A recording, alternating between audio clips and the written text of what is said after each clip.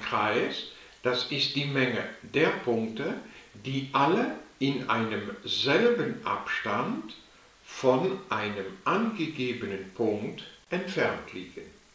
Dieser angegebene Punkt wird Zentrum des Kreises genannt und der angegebene Abstand wird Radius des Kreises genannt.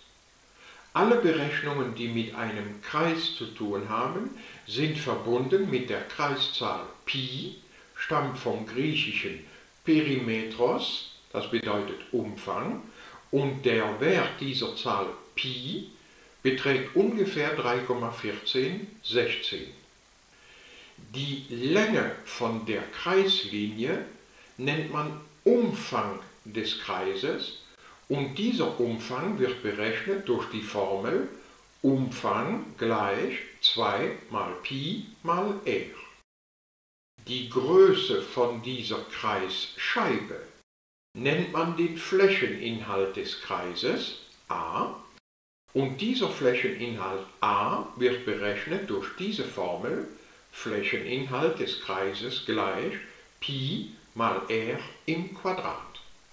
Ein Umfang ist eine Länge und wird zum Beispiel in Zentimeter ausgedrückt. Ein Flächeninhalt hingegen wird in Quadratzentimeter ausgedrückt. Wenn euch dieses Video gefallen hat, dann könnt ihr es gerne liken und wenn ihr mehr Lust auf Mathe habt, könnt ihr gerne meinen YouTube-Kanal abonnieren.